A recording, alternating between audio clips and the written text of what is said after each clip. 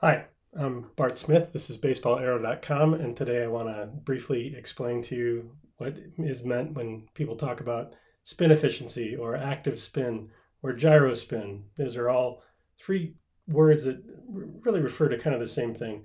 Um, so if, if I'm a pitcher and I'm going to throw this two seam fastball, and uh, say that I, I, I throw it kind of like I'm showing you here, and the ball spins like this, we would call that a 12 o'clock fastball.